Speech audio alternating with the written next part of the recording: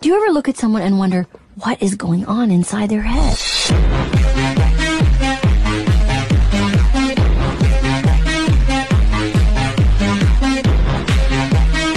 Oh, good boy.